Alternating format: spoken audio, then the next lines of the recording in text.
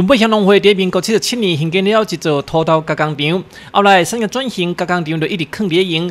最近龙北乡农会将这座加工厂重新活化再利用，部分改造成工厂的仓库，同时又引进了一套现代化米加设备。诶，咱后壁即栋仓库吼，啊，原底是农会诶土豆工厂啦，花生工厂吼。啊，完工以来吼，啊，就拢无啥物咧生产啦吼。啊，伫咧咱九十九年吼，民国九十九年吼，啊咱为着要来甲活化啦吼，好会当来生产啦吼。所以讲，咱来甲整理做咱诶白米工厂吼。啊，咱后壁后壁则吼是咱后控咱诶诶，咱政府的工厂啦吼。啊，所以讲吼，会当讲。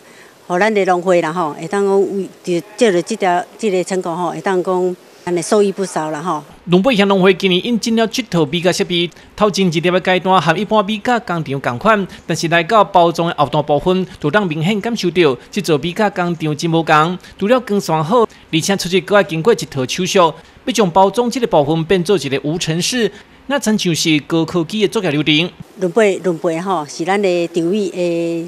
大众诶，农作咱最主要作物就是农稻米啦吼，所以讲咱农会吼要针对这稻米吼，啊来生产咱家己的品牌吼，咱来要来创造咱家己白米的品牌啦吼，这是接下来吼咱努力的目标啦吼。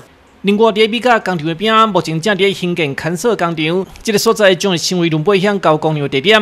目前经验室嘛正伫做装潢，一定伫一个月左右时间，这套米甲设备就要正式运转了。 기자리 빈간 청보도